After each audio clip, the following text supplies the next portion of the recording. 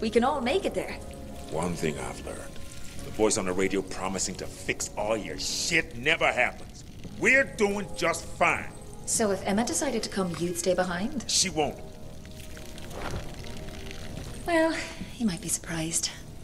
Catch you back there.